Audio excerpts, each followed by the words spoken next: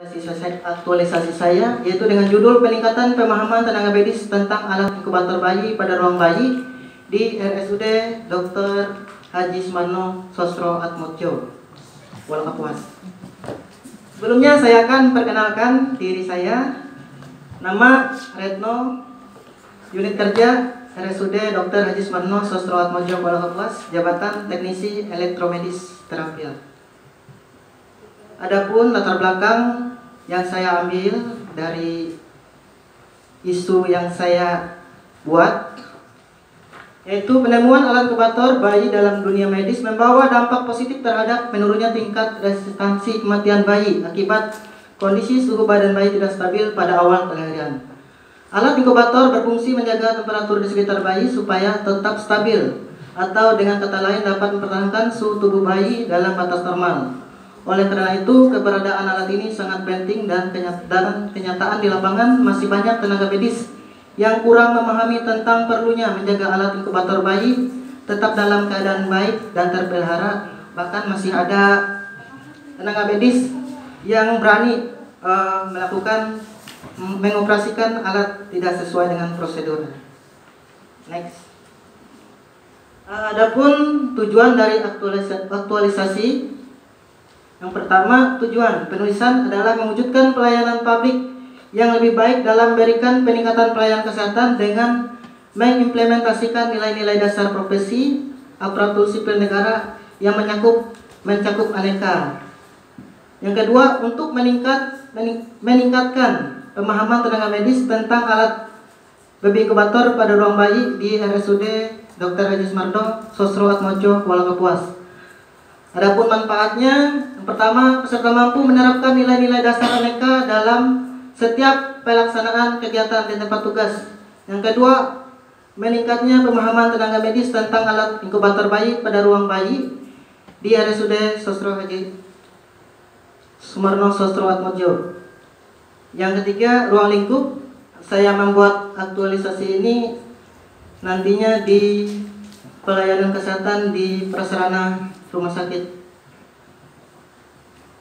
Next, adapun visi dan misi.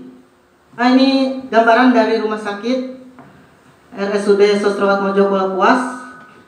Rumah sakit ini satu-satunya rumah sakit pemerintah yang ada di Kuala Kapuas.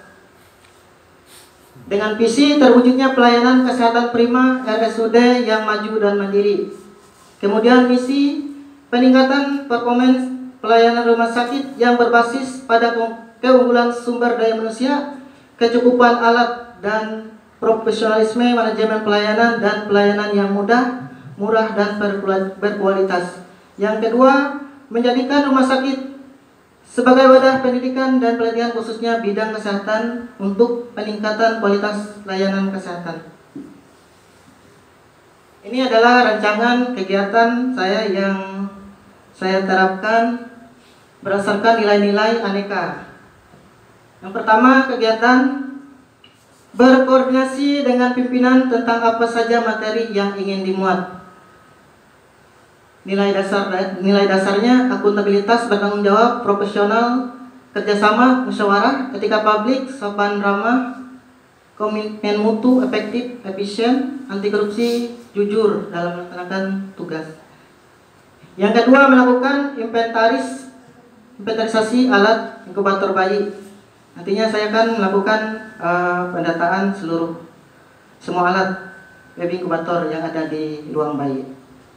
Nilainya akuntabilitas, bertanggung jawab, nasionalisme, kerjasama, musyawarah, etika publik, sopan ramah, komitmen mutu, efektif dan efisien, anti korupsi, jujur, disiplin. Yang ketiga, melakukan pengecekan rutin alat inkubator bayi. Nah, nanti ini saya akan membuat jadwal untuk biasanya satu bulan sekali kalau ini. Next. Yang keempat, nanti saya akan mensosialisasikan kepada tenaga medis di ruang bayi tentang pentingnya alat inkubator bayi untuk keamanan bayi. Yang kelima, membuat SOP tentang tata cara penggunaan alat inkubator bayi. Yang keenam, membuat SOP pemeliharaan alat inkubator bayi. Yang ketujuh, membuat brosur leaflet tentang pelayanan alat inkubator bayi untuk memudahkan nanti dalam pelayanan alat inkubator. Sekian dari saya, eh, saya akan serahkan kembali kepada moderator.